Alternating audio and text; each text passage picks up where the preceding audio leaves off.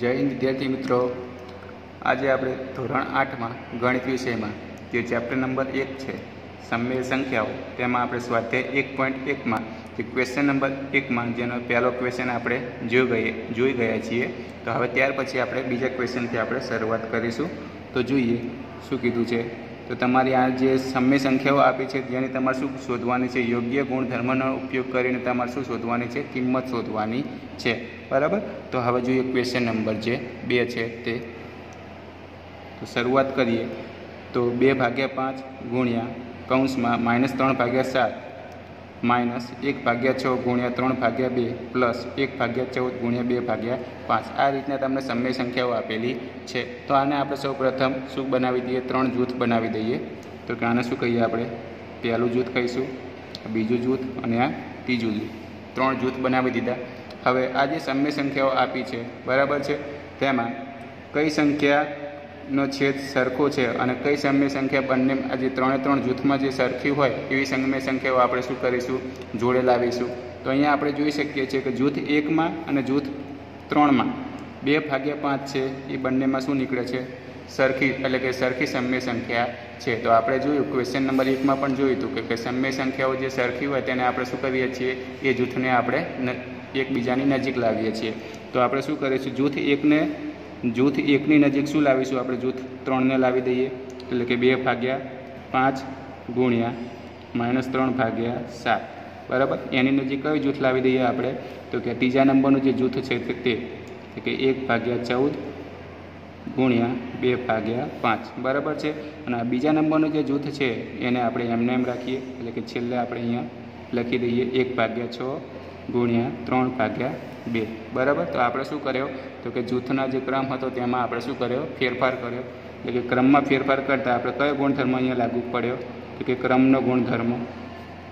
કયો ગુણધર્મ લાગુ પડશે? ક્રમનો ગુણધર્મ. બરાબર? આપણે ક્રમના ફેર, ક્રમમાં ફેરફાર કર્યો છે માટે. હવે જોઈએ તો. તો કે હવે બંને પહેલું જૂથ અને બીજું જૂથમાં બંનેમાંથી કોમન કઈ વસ્તુ નીકળે છે? કઈ સમય સંખ્યા નીકળે છે? તો કે બે ભાગ્યા પાંચ, બે ભાગ્યા પાંચ બંનેમાંથી શું નીકળે છે? કોમન નીકળે છે. તો અને આપણે કોમન કાઢી લઈએ. બે ભાગ્યા પાંચ શું કરી દીધા? કોમન કાઢ્યા. તો કે કૌંસમાં જે સંખ્યા વધે છે તેને આપણે લખી દઈએ. તો કે કૌંસમાં કઈ સંખ્યા વધે છે? અહીંયા કઈ નિશાન કઈ ના હોય તો અહીંયા શાની નિશાની હશે? ગુણાકારની. આપણે અહીંયા લખી દઈએ. બરાબર? તો હવે જે કોમન કાઢ્યું છે એ સિવાયની જે વધેલી જે સંખ્યા છે તેને આપણે કૌંસમાં લખી દઈએ. તો કે બે ભાગ્યા પાંચને કોમન કાઢતા અહીંયા કેટલા વધ્યા? તો કે ત્રણ ભાગ્યા સાત. બરાબર? અહીંયા બે ભાગ્યા પાંચને આપણે કોમન કાઢ્યા છે. બરાબર? તો કેટલા વધ્યા? તો કે એક ભાગ્યા ચૌદ. પ્લસ એક ભાગ્યા ચૌદ. બરાબર? હવે અહીંયાનું સાદું રૂપ આપીએ. તો કે અહીંયા જુઓ તો કે છ છે. એને આપણે કેટલા? ત્રણ દુ છ લખી શકાય? તો કે હા. બરાબર? અને છેદમાંથી કેટલા? ત્રણ ત્રણ ઉડી જશે. બરાબર? કેટલા? ત્રણ ત્રણ ઉડી જશે. તો કે વધ્યા, એ લખી દઈએ. તો જુઓ, અંશમાં કેટલા વધ્યા? તો કે કંઈ ના વધે અહીંયા એક તો હશે. એટલે કે એક ગુણ્યા એક. તો કેટલા થશે? માઇનસ એક ભાગ્યા. હવે છેદમાં જોઈએ. તો કે અહીંયા જુઓ બે બે ગુણ્યા બે. એટલે કે કેટલા રહેવાના? ચાર લેવાના. તો કે કેટલા થશે? આખી સંખ્યા માઇનસ એક ભાગ્યા ચાર શું કર્યા? છેદ ઉડાડી દીધા. એટલે કે ત્રણનો આપણે છ વડે ભાગ ચાલતો હતો આપણે ડાયરેક્ટ ઉડાડી દીધો. હવે જોઈએ. તો કૌંસમાં જે સંખ્યા આપી છે, તેનું આપણે પહેલાં તો સાદરૂપ આપીએ છીએ. પરંતુ અહીંયા તમે જોશો, તો કે જે કૌંસમાં જે સંખ્યા આપી છે, સાત અને ચૌદ છે, તેના છેદ છે, સરખા કરવા પડશે. એટલે કે છેદ સરખો કરવા માટે આપણે શું લઈએ છીએ? લસા લઈએ છીએ. તો કે સાત અને ચૌદનો. લસા અ. લેતા. બરાબર છે? તો કે અહીંયા સાત અને ચૌદનો લસા લઈશું, તો આપણે અહીંયા સાઈડમાં રાખીએ. કે સાત અને ચૌદ. બે વડે ભાગ ચલાવીએ, તો કે સાત તો એમને એમ રહેવાના. અહીંયા સાત રહેશે. હવે સીધા સાત વડે ભાગ ચલાવીએ, તો કે શેષ બંનેમાં કેટલી થઈ જશે? એક એક. બરાબર છે? તો અહીંયા આપણે લખીએ સાત અને સાત અને ચૌદનો લસા અ. બરાબર કેટલો મળ્યો આપણને? તો કે ચૌદ મળ્યો. કેટલો લસા મળ્યો આપણને? ચૌદ લસા મળ્યો. તો કે અહીંયા મારે છેદમાં હવે બંનેમાં શું લાવવું પડશે? ચૌદ ચૌદ લાવવા પડશે. બરાબર? તો છેદ સરખા થશે. એટલે કે મારે છેદમાં જો ચૌદ લાવવા હોય તો આપણે સંખ્યા આપણે લખી દઈએ. અહીંયા મારે છેદમાં ચૌદ લાવવા હોય તો સાતને હું કેટલા વડે હું ગુણું તો મને ચૌદ મળે. તો કે મારે સાતને અંશ અને છેદમાં મારે કેટલા વડે ગુણવા પડશે? બે વડે ગુણવા પડશે. તો જ મને શું મળશે? છેદમાં ચૌદ મળશે. એટલે કે નીચે બે વડે ગુણ્યા છે તો ઉપર પણ બે વડે ગુણવા પડે તો સંતુલન જળવાય. પ્લસ એક ભાગ્યા ચૌદ. કૌંસ પૂરો. માઇનસ એક ભાગ્યા ચાર. બરાબર? હવે જોઈએ. તો કે બે ભાગ્યા પાંચને એમને એમ રાખીશું. ગુણ્યા. કૌંસમાં જે આપેલી જે સંખ્યા છે તેનું સાદુરૂપ આપી દઈએ તો જો બે તરી કેટલા થવાના? છ, પણ કેવા? માઇનસ. છેદમાં કેટલા રહેશે? ચૌદ પ્લસ એક ભાગ્યા ચૌદ. અને આને એમના એમ રાખીશું આપણે. હવે ત્યારબાદ જોઈએ. તો કે બે ભાગ્યા પાંચ એમના એમ રહેશે. બરાબર? ગુણ્યા. જો હવે જોઈ શકીએ છીએ કે અહીંયા બંનેના છેદ કેવા છે? સરખા છે. એટલે છેદમાં તો કેટલા રહેવાના? ચૌદ. આનું સાદુરૂપ આપે તો જુઓ તો કે માઇનસ છ પ્લસ એક કેટલા થવાના? તો કે માઇનસ પાંચ કૌંસ પૂરો, આ માઇનસ એક ભાગ્યા ચાર. બરાબર છે? કૌંસને છૂટો કરી દે, બંને વચ્ચે શાની નિશાની છે? તો કે ગુણાકારની ક્રિયા છે? બરાબર છે? તો આ રીતના લખી શકાય આ જે સંખ્યા છે તે જે કૌંસ છૂટો કરતા, આને આપણે આ રીતના લખી શકીએ. બે ભાગ્યા પાંચ ગુણ્યા માઇનસ પાંચ ભાગ્યા ચાર. ને માઇનસ એક ભાગ્યા ચાર શું કરી લીધું? કૌંસ છૂટો કરી દીધો. બરાબર છે? તો કે આને કંઈક આ રીતના લખી શકાય. હવે જોઈએ છે કે બંને સમય સંખ્યા છે? એના વચ્ચે શાની ક્રિયા છે? ગુણાકારની અંશ, અંશનો ગુણાકાર, છેદ, છેદનો ગુણાકાર. તો કે કરીએ અંશ, અંશનો ગુણાકાર કરીએ. તો કે બે ગુણ્યા માઇનસ પાંચ કેટલા થશે? માઇનસ દસ ને પાંચ ગુણ્યા ચૌદ. એટલે કે ચૌદ પંચાને કેટલા થશે? સિત્તેર. કેટલા થવાના? સિત્તેર થવાના. તો કે સિત્તેર માઇનસ એક ભાગ્યા ચાર. બરાબર છે? હવે અહીંયા જોઈ શકીએ છીએ કે કે સિત્તેર અને ચાર છે. અને બંને વચ્ચે ક્રિયા છે? બાદ બાકીની અને છેદ પણ સરખા નથી. તો કે છેદ સરખો કરવા માટે આપણે શું કરીએ છીએ? તો કે લસા લઈએ છીએ. બરાબર? તો કે લસા લેવા માટે આપણે શું કરીએ છીએ? તો કે ફરી લસા લઈશું સિત્તેર અને ચારનું. તો જ છેદ સરખા થશે. તો કે અહીંયા સિત્તેર અને ચારનો લસા લઈએ. તો કે બે વડે ભાગ ચલાવીએ, તો કે પાંત્રીસ દુ સિત્તેર થવાના, તો કે હા, અહીંયા બે વડે, બે થઈ જશે, બે બે, ચાર. બરાબર? હવે જોઈએ કે હજુ આનો બે વડે ભાગ ચાલશે, તો કે હા, તો કે પાંત્રીસને તો નહીં ચાલે, પણ અહીંયા બે છે, તો કે અહીંયા શેષ કેટલી થઈ જાય એક. બરાબર છે? હવે પાંત્રીસ છે, એને સીધો હવે પાંચ વડે ભાગ ચાલીએ, તો કેટલા થાય જોઈએ? તો કે પાંચ સત્તા અને પાંત્રીસ, ત્રણ વડે ચાલે છે, તો કે ત્રણ વડે પણ નહીં ચાલે. સીધો જ આપણે કેના વડે ચલાવીશું પાંચ વડે ચલાવીએ, તો કેટલા થશે? પાંચ સત્તાને પાંત્રીસ એટલે કે અહીંયા સાત આવી જવાના, અહીંયા એક થશે. હવે સીધો આપણે સાત વડે ભાગ ચલાવીએ, તો કે એક થશે અને એક થશે. બરાબર છે? તો સિત્તેર અને ચાલીસનો લસા કેટલો થયો જોઈએ? સિત્તેર અને સિત્તેર અને ચારનો લસા. તો જોઈએ, બે બે ચાર ચાર પંચાને વીસ અને વીસ સત્તાને એકસો ચાલીસ. કેટલા થશે? એકસો ચાલીસ. તો આપણને લસા કેટલો મળ્યો? સિત્તેર અને ચારનો. તો કે એકસો ચાલીસ લસા આપણને મળે છે. તો કે હવે અહીંયા સિત્તેરનું કેટલા વડે હું ગુણીશ? તો મને કેટલો મળશે? છેદ એકસો ચાલીસ મળશે. બરાબર? તો કે મારે બંનેમાં જ શું કરવા છે? છેદ એકસો ને ચાલીસ લાવો છે, તો કે કેટલા વડે ગુણવા પડશે? તો કે દસ ભાગ્યા સિત્તેરને હું એમને એમ રાખું. સિત્તેરને હું બે વડે ગણું, બરાબર? તો મને કેટલો મળશે છેદ? એકસો ને ચાલીસ મળશે. તો કે નીચે બે વડે ગુણ્યા છે, તો કે અંશમાં પણ બે વડે ગુણવા પડે. બરાબર છે? હવે જોઈએ. તો કે એક ભાગ્યા ચાર. બરાબર? મેં તમને એક અગાઉ મેથડ શીખવાડી હતી કે જ્યારે આવી નાની સંખ્યા હોય છે, બરાબર? અને મારે એકસો ને ચાલીસ છેદ કરવો છે, તો આપણને કઈ રીતના ખબર પડે? આપણને તો કોઈ એવી સંખ્યા યાદ ના હોય. મેં તમને એક શીખવાડી હતી. ત્યાં છેદમાં ચાર છે. તો અહીંયા જુઓ, એના અવયવ જુઓ, સિત્તેર અને ચારના. તો કે બે બે અને ચાર થશે. બરાબર છે? ચાર સિવાયની સંખ્યા.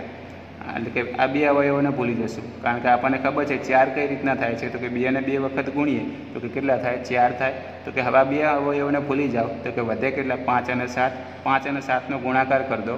તો કે પાંત્રીસને જો તમે ચાર વડે તમે ગુણશો, બરાબર? તો આપણો છેદ કેટલો મળશે? એકસો ને ચાલીસ મળશે. પાંત્રીસ ગુણ્યા, અંશમાં પણ ગુણ્યા અને છેદમાં પણ ગુણ્યા.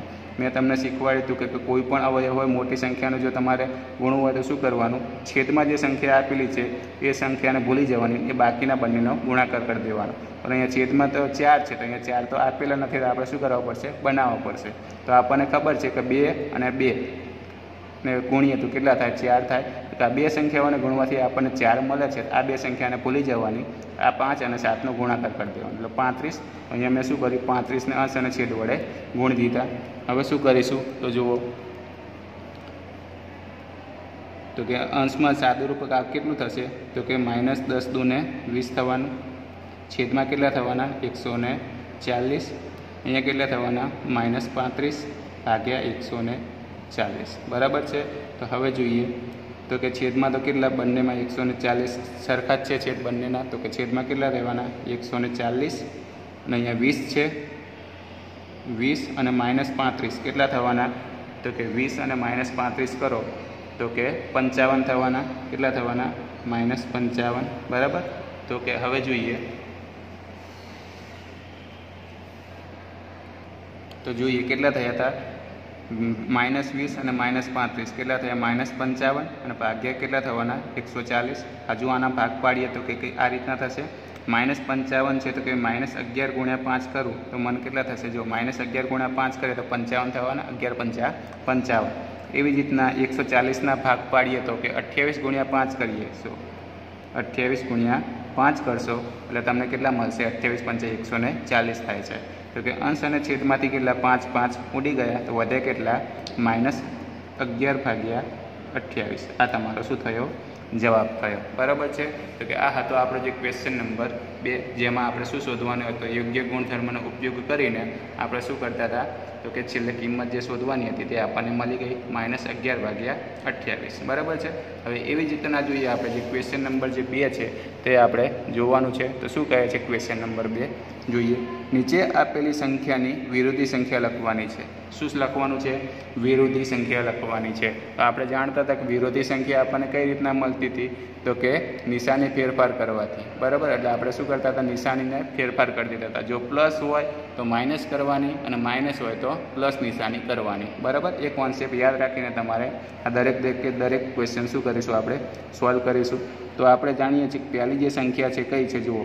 બે ભાગ્યા આઠ છે. પણ કેવા છે? પ્લસ છે. બરાબર? તો આની વિરોધી સંખ્યા શું કરવાની? તો કે માઇનસ નિશાની મૂકીશું. કારણ કે અહીંયા પ્લસ છે. તો કે એની જગ્યાએ આપણે માઇનસ નિશાની મૂકી દઈએ. એટલે આપણને શું મળશે ત્યાંની? વિરોધી સંખ્યા.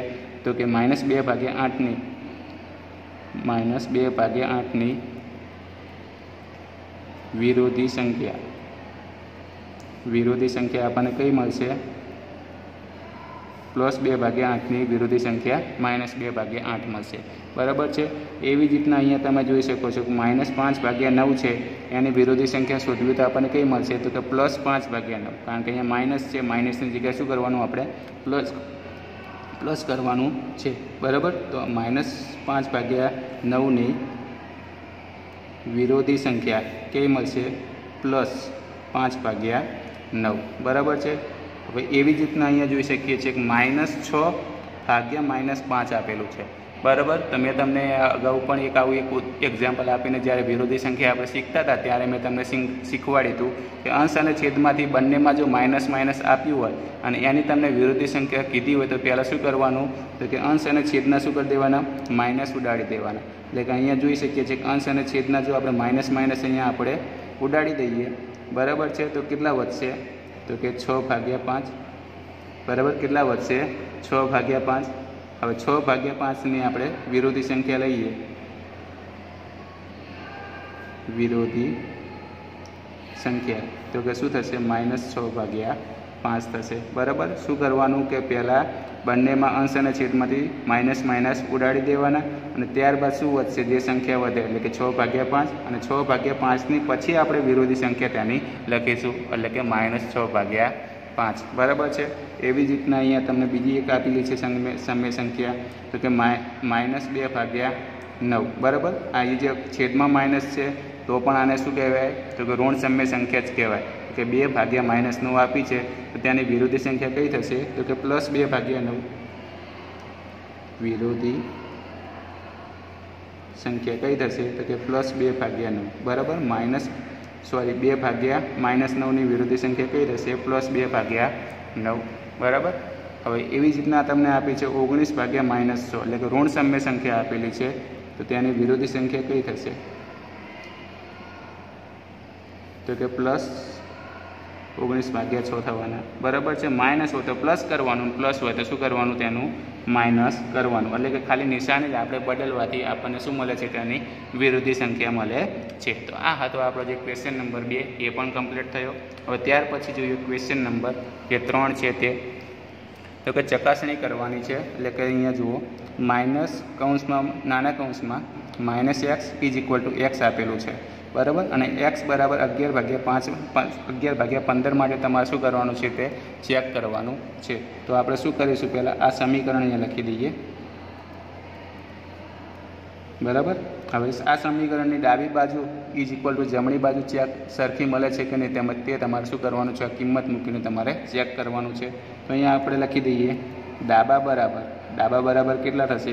તો કે સમીકરણની ડાબી બાજુ આ થશે તો માઇનસ માઇનસ કૌંસમાં એક્સ હવે માઇનસને એમને એમ રાખીએ. આ માઇનસને પણ એમને એમ રાખ્યો. એક્સની જગ્યાએ કેટલા મૂકી દેવાના? તો કે અગિયાર ભાગ્યા પંદર મૂકવાના. હવે આપણે જાણીએ છીએ કે માઇનસ માઇનસ કેટલા થાય? પ્લસ અગિયાર ભાગ્યા પંદર. કેટલા થયા? પ્લસ અગિયાર ભાગ્યા પંદર. હવે પ્લસ અગિયાર ભાગ્યા પંદર છે અહીંયા જુઓ. એના બરાબર હું એક્સ લખી શકું? તો કે હા. તો કે આપણે શું લખવાનું? તો કે પ્લસ જે અગિયાર ભાગ્યા પંદર છે, એના જગ્યાએ કેટલા લખવાના? એક્સ લખવાના. એટલે કે ડાબા બરાબર આપણને કેટલા મળ્યા? તો કે એક્સ અને ઓલરેડી અહીંયા જમણી બાજુ પણ કેટલા છે? એક્સ છે. માટે આપણે લખી શકીએ, ડાબા ઇઝ ઇક્વલ ટુ જબા. બરાબર છે? માટે આપણે કહી શકીએ કે એક્સ બરાબર જે અગિયાર ભાગ્યા જે પંદર કિંમત લીધેલી છે, તે આ સમીકરણ માટે કેવી છે? સાચી છે. બરાબર છે? એવી રીતના આ બીજું ઉદાહરણ આપ્યું છે, માઇનસ તેર ભાગ્યા સત્તર. બરાબર?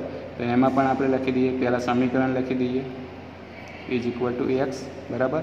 હવે એવી રીતના ડાબા બરાબર સમીકરણ લખી દઈએ. માઇનસ માઇનસ કૌંસમાં એક્સ આ માઇનસ નિશાની એમને એમ રાખીશું. મોટો કૌંસ કરીએ. આ માઇનસ નિશાની પણ એમને એમ રાખીશું. હવે એક્સની જગ્યાએ આપણે કેટલા એપ્લાય કરવાના છે? માઇનસ તેર ભાગ્યા સત્તર. કે માઇનસ તેર ભાગ્યા સત્તર. ચલો, આગળ જોઈએ. તો કે માઇનસ મોટા કૌંસમાં જુઓ. તો કે માઇનસ માઇનસ કેટલા થવાના? પ્લસ તેર ભાગ્યા સત્તર. બરાબર? હવે જુઓ. કે માઇનસ પ્લસ કેટલા થવાના? માઇનસ તેર ભાગ્યા સત્તર. માઇનસ તેર ભાગ્યા સત્તર છે. આખી કિંમત બરાબર આપણે અહીંયા કેટલા લીધેલા છે? એક્સ લીધેલા છે. બરાબર? એટલે કે માઇનસ તેર ભાગ્યા સત્તરની જગ્યાએ હું કેટલા લખી શકું? તો કે હું એક્સ લખી શકું? તો કે ડાબા બરાબર મને કેટલા મળ્યા? એક્સ મળ્યા. અને જમણી બાજુ ઓલરેડી પહેલાંથી એક્સ તો આપણને આપેલા જ છે. માટે આપણે અહીંયા લખી શકીએ.